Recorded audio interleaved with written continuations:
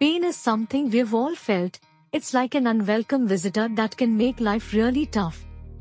Imagine the discomfort of chronic pain, which millions of people go through. A University of Arizona professor noticed that he got fewer headaches when he sat in a park. He thought the trees or quietness might be the cause, or maybe the color green. He tested this theory by exposing rats to green LED lights.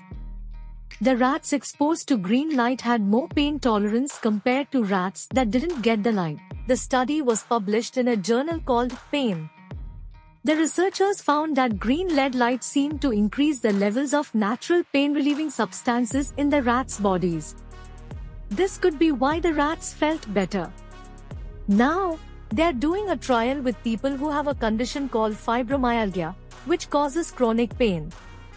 These people use green LED light for a couple of hours every night in a dark room. The early results are promising. Some participants felt less pain and even refused to give the LED lights back. This therapy is a promising, simple, and inexpensive way to manage chronic pain without the side effects of medication.